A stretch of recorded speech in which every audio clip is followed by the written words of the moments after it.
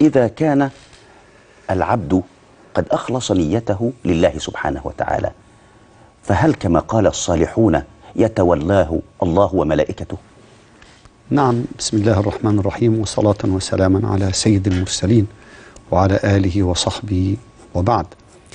فلا شك أن الإنسان الذي يخلص فهذه علامة من علامات تولي الله له. لأن كما ورد في الأثر الإخلاص سر من أسرار استودعته قلب من أحببت من عبادي. فهي علامة من علامات التوفيق.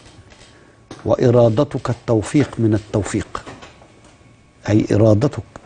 عندما تتوجه نيتك إلى التوفيق إلى عمل فيه توفيق كالإخلاص فهذا من توفيق الله تعالى لك. فلا شك أن الإخلاص من علامات توفيق العبد وتولي الله له سبحانه وتعالى. مولانا كيف نخلص لله هذه النية؟ كيف يكون العمل لله؟ كيف نعم. تكون النية لله؟ وحضرتك وضحت لنا امبارح في حياتنا إزاي يتحقق الإخلاص؟ نعم. إن أنا يتساوى عملي أمام الناس وبعيدا عن الناس. من راقبني ومن لم يراقبني. هي دي هو ده السلوك. مم. هو ده الطريق. المجاهدة العملية. كيف أحقق الإخلاص؟ هننظر نجد أول درجة أبدأ بيها العمل عملي نفسه. شيء ظاهري تصفية العمل. الدرجة الأعلى تصفية الحال القلب. الأعلى تصفية الإخلاص نفسه. شوف وصلت لإيه؟ تصفية الإخلاص نفسه. تصفية العمل إزاي. عملي إما عبادة وإما معاملة. العمل إما عبادة وإما معاملة. مم. والعمل أيضا هو حركة الظاهر أو الباطن. الظاهر الجوارح الباطن حركة القلب. كيف أصفي عملي؟ من كل شائبة تشوبه وتقدح فيه وتحبطه. اللي بيقدح في الإخلاص الرياء السمعة رؤية السمعة رؤية الناس. من عمل كما قال الفضيل بن عياض من ترك العمل من أجل الناس أو ترك العمل من أجل الناس رياء والعمل من أجل الناس شرك. والإخلاص كما قال أن يعافيك الله منهما. فإزاي أنا أصفي عملي دي أول درجة؟ أصفي عملي بإيه؟ برؤية المنة. يعني إيه رؤية المنة؟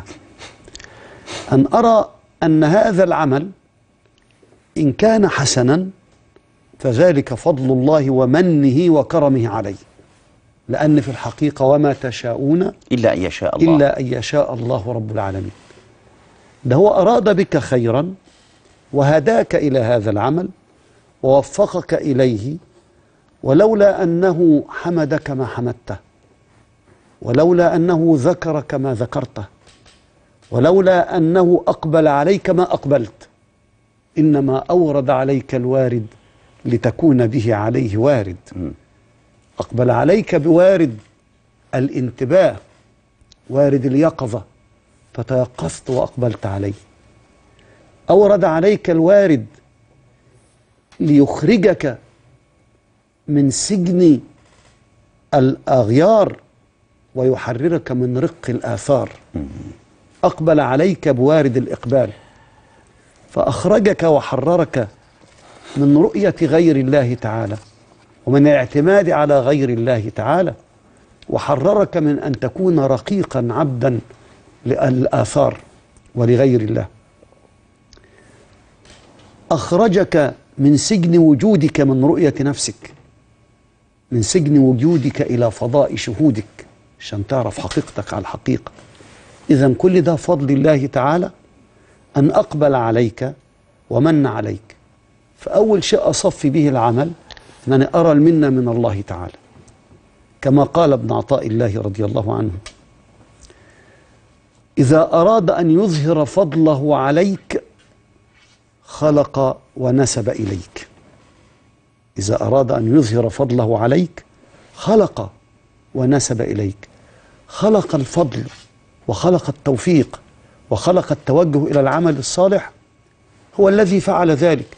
ثم نسب إليك هذا لكي يكرمك ويثني عليك. فإذا أول شيء أن أنا أرى المنة من الله. ولذلك مولانا الشيخ المرسي أبو العباس رضي الله عنه يقول أوقات العبد أربعة, أربعة لا خامس لها.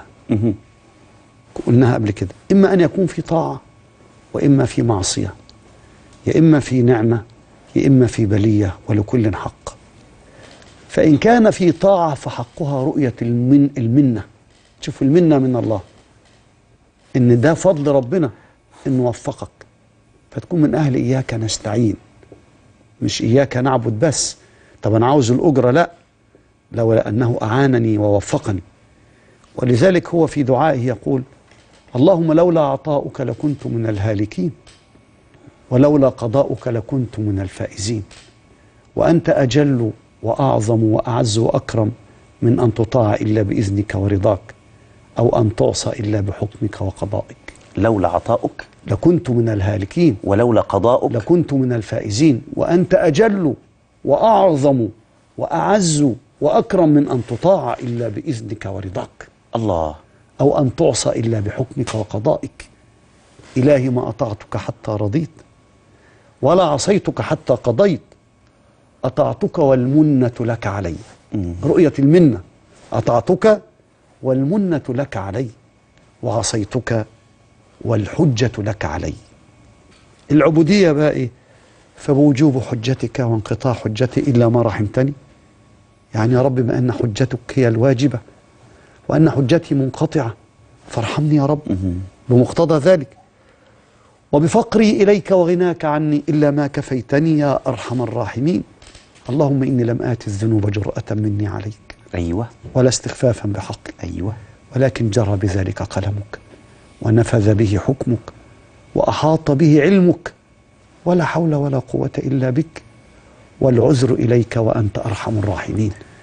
فإذا رؤية المنة أول شيء عشان أصفي عملي.